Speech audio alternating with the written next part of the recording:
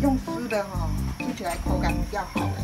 啊，就这样先把它靠一靠啊，不用油，先不要油，先把它靠一下。我是习惯这么弄，然后也很快啦，好快就熟了。那是后面吃了？要，可是我儿子很瘦小哦。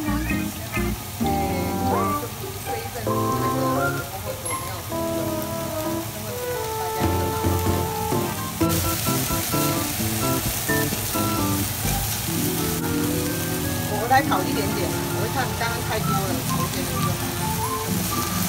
就很简单啊，老人家，他就是把那个啊，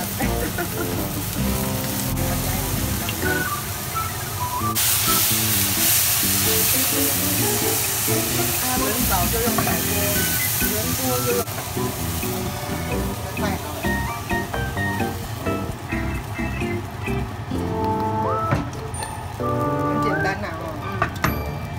很简单呐、哦，嗯，然后煎一条小，一点点。